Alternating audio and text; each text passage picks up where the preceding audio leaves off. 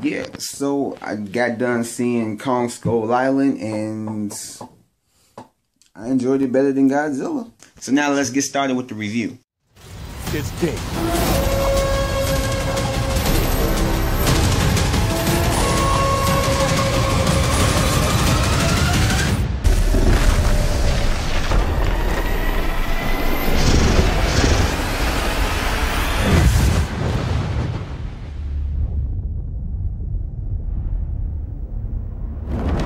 Okay, so Kong Skull Island is just these explorers, these scientists and army men all go to this island to kind of map it out to see what's lurking on this island because it's uncharted. And, you know, people are curious and they want to do some stupid things and they go on this island, they find King Kong.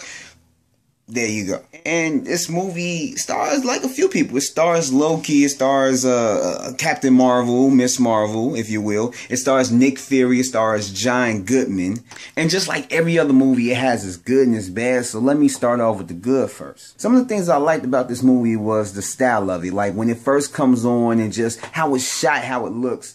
I'm not going to necessarily say the cinematography, but kind of, sort of, because it did look decent. It looked like, you know, it, it was it, it, was kind of reminiscent somewhat of. Have you ever seen that god awful movie Sucker Punch? It kind of reminded me of that, but just not as gorgeous as that movie looked. And that was the only thing good about that movie. But that's something else. But yeah, the style of it looked good. I liked it. At times it worked, at times it didn't. But we're in the goods now, but I did like the style.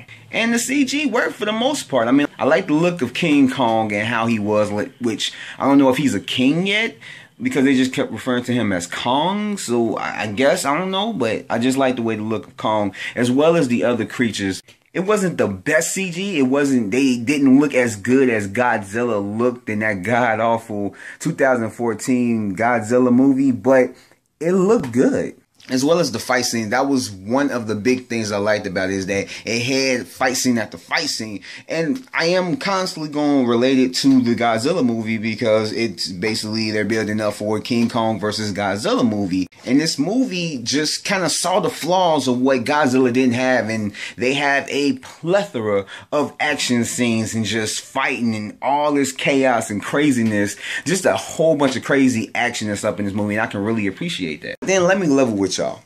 There is a lot of bad with this movie. This movie isn't perfect like any other movie.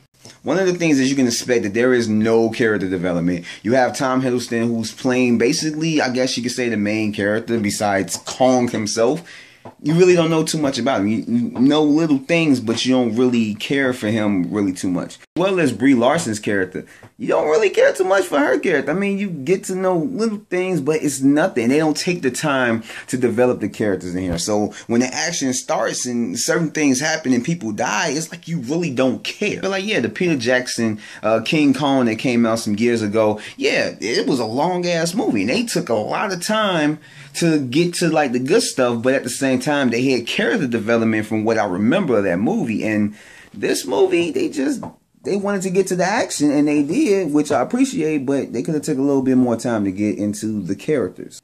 And one thing that I was kind of worried about going into this movie, and I said it on my podcast, is that I thought I hoped that it wasn't gonna try to be really humorous, and that was one of the flaws that, that I took out of this movie. I heard a lot of people saying that the jokes didn't work, whatever. My whole thing about the humor was that it was out of place. You see this Godzilla movie, and they're happening in the same universe. But yet, Godzilla is just so freaking dark and it's serious and it's a drama and it takes itself serious. This one, it really don't. It's like it's a dumb action film. It's humor after humor after humor and just the tone of it. It's not even dark. I mean, somewhat, but not really and it just seemed really out of place for what they're trying to do and it just it really stood out to me as well as a lot of the scenes were really choppy.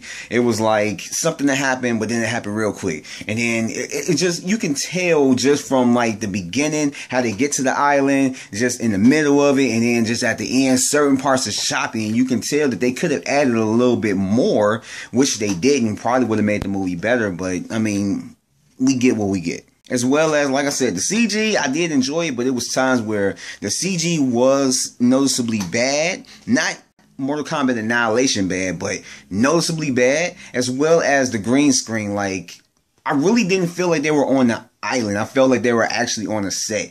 And when you're doing a movie like this, it shouldn't be that way. You should feel like this is a real place. Like this is a place I don't want to go, or this is a place I want to go. But with this movie, you just really didn't feel like they were on an island. And that says a lot about their practical effects as well as the green screen and CG and everything they were doing with this. It was just, yeah, they could have did a little bit better with it. And with this, I thought that they were to have a better array of monsters. I thought it was just to be this monster, that monster, and just, just creative type monsters, which they kind of did, but kind of didn't. It just really kind of like went to King Kong and just the skull crawlers or whatever the heck.